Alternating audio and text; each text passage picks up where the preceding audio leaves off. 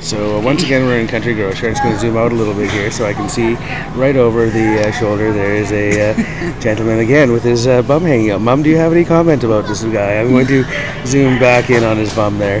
There we are for everyone. Absolutely do not. This is the have. This is this is the second time now we run into this gentleman, and, uh, And as he reaches for his groceries, the crack gets larger. Alrighty, Krakatoa as it were.